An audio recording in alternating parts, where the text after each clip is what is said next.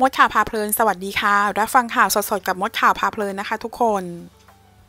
โควิดวันนี้นะคะ ป่วยใหม่ 9,276 รายค่ะ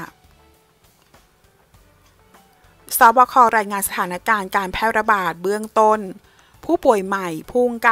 9,276 ราย เสียชีวิตเพิ่มอีก 72 รายนะคะ เผย ยอดติดเชื้อสะสมระลอกเดือนเมษายน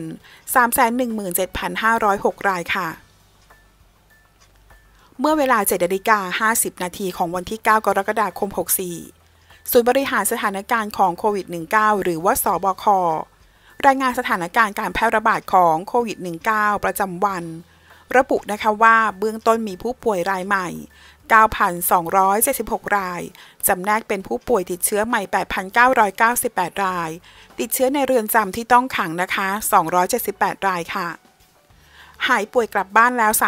3,928 ราย หายป่วยสะสม 212,651 ราย ยอดผู้ป่วยสะสมระลอกเดือนเมษายนนะคะจำนวนทั้งสิ้น 288,643 ราย เสียชีวิตเพิ่ม 72 ราย ทั้งนี้นะคะ สบค จะแถลงรายละเอียดให้ทราบอีกครั้งเวลาประมาณ 12นาฬิกา30 นาทีค่ะ ขอขอบคุณข้อมูลจากข่าวสดค่ะ ถ้าเพื่อนๆชอบคลิปนี้ฝากกดไลค์และกดกระดิ่งติดตามเพื่อเป็นกำลังใจให้ช่องมดข่าวพาเพลินด้วยนะคะ ขอบคุณค่ะ